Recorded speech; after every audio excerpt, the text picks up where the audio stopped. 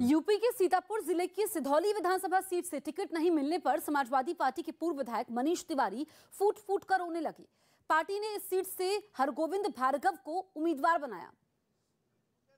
जिससे टिकट की उम्मीद लगाए मनीष रावत मायूस हो गए और जब वो लखनऊ से लौटकर सीतापुर में अपने समर्थकों के बीच पहुँचे तो अपने आँसू रोक नहीं पाए और फूट फूट कर रोने लगे।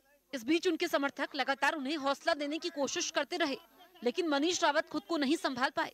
आज पैसा जीत गया हम लोग मेहनत हार गई। वहीं पूर्व विधायक मनीष रावत का टिकट कटने से खफा समर्थकों ने उनसे सधौली सीट से ही चुनाव लड़ने की अपील की। जिसके बाद मनीष रावत ने भी चुनाव लड़ने का फैसला अपने समर्थकों और सिधौली की जनता पर छोड़ दिया।